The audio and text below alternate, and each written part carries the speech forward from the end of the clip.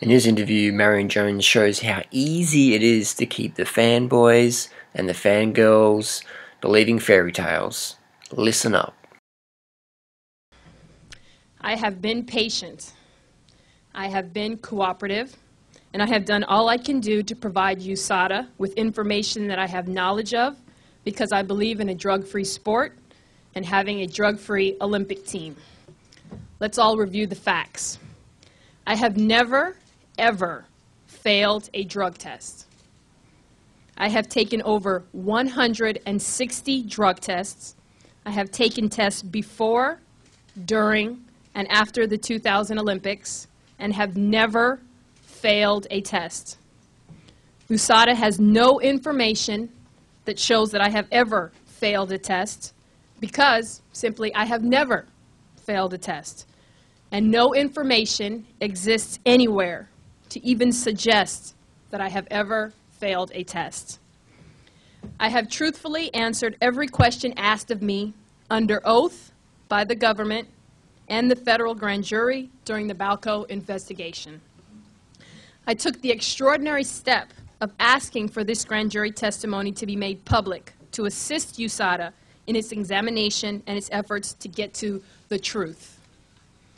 I truthfully answered every question asked of me by USADA during the three-hour May 24th meeting, a meeting that took place only because I asked for the meeting.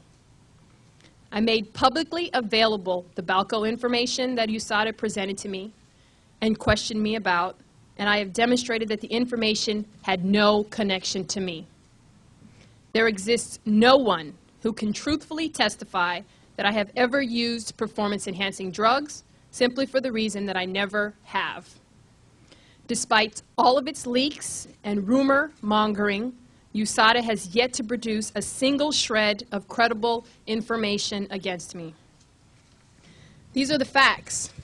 I have done all that I can do. I should have been cleared a long time ago. However, this time I will not answer them in secret and behind closed doors.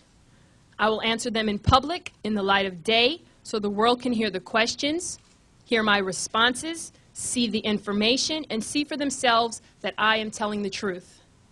USADA can ask, and I can answer these questions before the United States Senate, which has shown interest in this matter, or some other public forum modeled after a judicial proceeding. The truth is my friend, and transparency my ally in this matter. And this is why I want this process to be as transparent, open, and fair as possible so that everyone can see for themselves what I've been saying all along that I have never, ever used performance-enhancing drugs, and that I have accomplished what I have accomplished because of my God-given abilities and hard work. I want to compete.